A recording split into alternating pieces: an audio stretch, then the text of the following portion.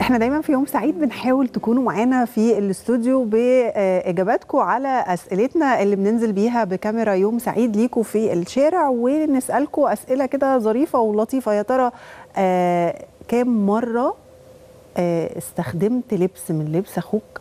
أو يعني هو كان مسيطر على يعني مسيطرة عليه فكرة إن هو هيلبس الطقم ده فتح الدولاب ما لقاهوش. انت نزلت بيه الجامعة أو رحت بيه الشغل.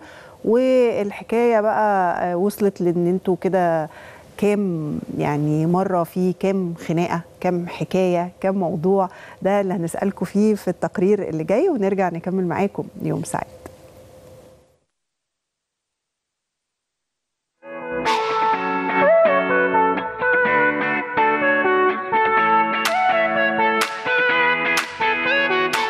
جربت تقلب هدوم من أخوك قبل كده؟ أكيد مفيش حد ما عملش كده. كل الدنيا بتعمل كده. أكيد طبعا أنا دايما بلبس من عندها. لا هو أنا عندي أخويا بس هو أنا وهو بناخد التيشيرتات من بعض عادي في الصيف وكده. بصراحة أختي أصغر مني هي اللي بتقلبني دايما. هو بنطلوني بس ده بنطلون. لبسي والله. ده بنطلون. لبسي هو لبسه مش حاجة. بقلب دولاب اخوه باخد منه برفان مثلا سماعة ايربودز لا هو اللي بيقلب دولاب. أنا بقلب وهي بتقلب برضه. من أختي.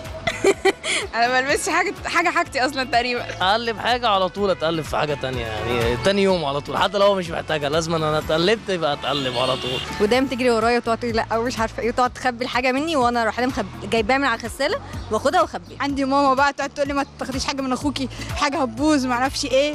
يعني أنا اخويا ما عندوش مانع ولا اي حاجة خالص. بقعد أزعق لها وكده وماما ما بتتكلمش بتقول لي سيبيها تاخد اللي هي عايزاه. هدومه ما بتدخلش فيا هو اللي بياخد مني هدوم. بتخانق كتير بسبب الهدوم اللي بتبوظ أكيد.